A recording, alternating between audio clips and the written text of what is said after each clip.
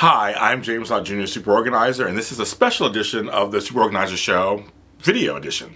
And that's why I do these every once in a while, because especially now with the coronavirus pandemic outbreak happening, um, I have regular shows, and I have an episode this week with Laura Leist, and she talks about how the coronavirus pandemic has affected her business practices um, when it first started. So um, it's a great, you can find it anywhere where podcasts are streamed.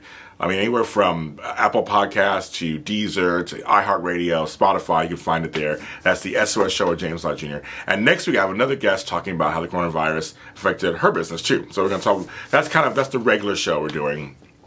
But I decided to come on and do a video because I've been asked questions and I actually have them written down because I write everything down. That's another tip for you guys out there.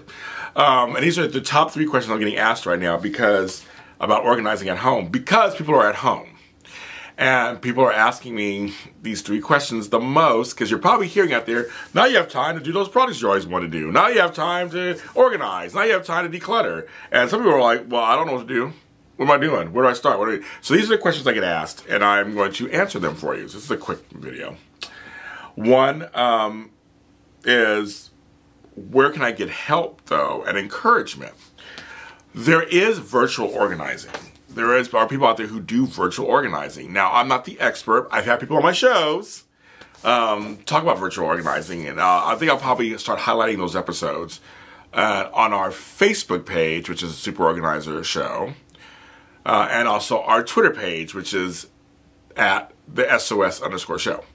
So I'm going to do those, highlight those. But there are people who do virtual organizing, and um, but there also are people who you're just call an organizer, they will gladly talk to you over the phone, through Skype, through FaceTime, through Zoom meeting, whatever. Uh, you'll call one, and and they, and maybe they can still be a cheerleader for you. Call me if you're, you know, call me. I'll be a cheerleader for you, and talk to you and talk you through as you're organizing papers or clothes.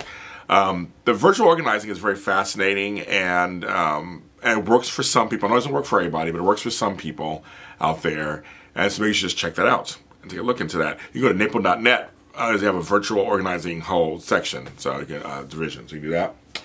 Another question I get is, but I'm told I can't really leave the house that much unless it's necessary. I, what if I, I can't take the clothes and stuff out the house? So my thing is, any movement is movement. So if you have a, stuff need to be shredded, you decide to go through papers all that stuff needs to be shredded if it's in a bag. At least it's in a bag. So when we're able to freely move about again, you just take that and be your first part, one of your first priorities, and get it out. Um, I think it's it's uh, imperative that um, you do take this time to declutter your house, organize your house, and you know if it's old toys and you put them in boxes. I mean, you can I always say you can neatly put them somewhere, designated place in the house or in the garage or somewhere, and put them there until for the time being. And then when you're able to freely go about your day, get them out the house. Because I know we, most organizers were like, okay, once you get it and sort it, get it out, right? Um, I'll also talk to you, uh, and if you have stuff that's useful, here's another tip.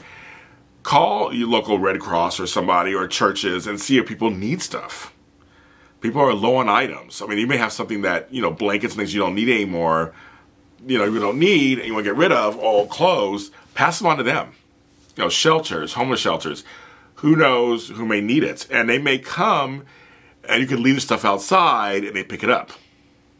So that's an idea too. So I, I, but I still think if you don't do any of that, um, set it aside somewhere. You like you go through your books, you have a stack of books you want to get rid of, put them in a bag and set them aside and, and mark them. These are books to go. And still, movement is any movement. I just fully believe that. And the third one is, oh, where do I start? well, that's the thing. Um, I always tell people, you know, my motto is small steps lead to large rewards. So my thing is start small. You don't have to rush. I mean, probably be home for a while. Um, and you should never do it when you're tired. I say, well, don't do organizing when you're tired. Always do it when you're ready and alert and ready to do it. Um, start with a drawer in the kitchen work your way around. I always say do things, I, I do things like from either left to right or right to left or top to bottom, bottom to top. I'm very much kind of a linear person kind of stuff like that because you see the progress as you move along and it's easy when you stop where to start again. It's an easy place to point and a marker. So I always say kind of move across.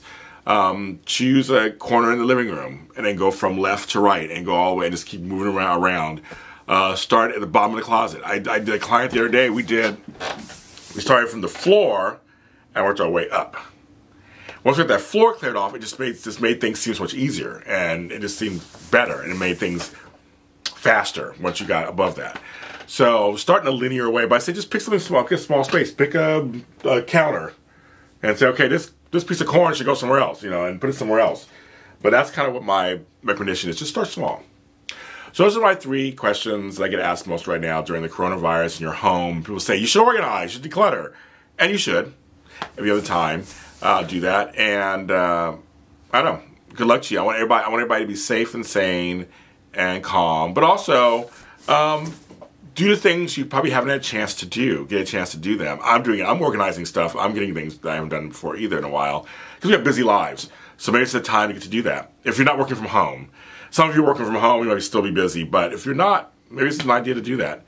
Uh, I'll be back on periodically with some videos during this time period, talking about various, various concerns. And you can follow me everywhere, James Lott Jr., of course. But the Super Organizer um, is on Facebook at Super Organizer and the Super Organizer Show. Uh, we're on Twitter at the Super O and the SOS underscore show. You can follow me there. And I'm on TikTok. I've been promoting that. James Lott Jr., I posted a new episode of my How to Get Super Organized in Under a Minute series. I'm James Lott Jr. Talk to you next time.